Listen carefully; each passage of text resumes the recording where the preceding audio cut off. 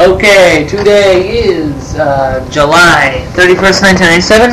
I have Scalisti now. Alright, now, well, he's not really um, that much tame.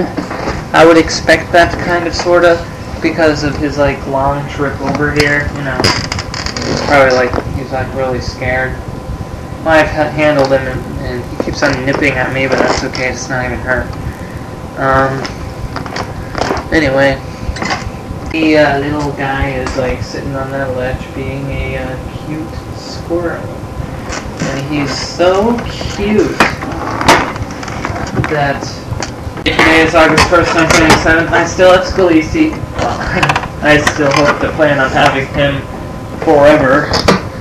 Um, Scalisti to sleep in my pocket. And, um, you know, he's, he's now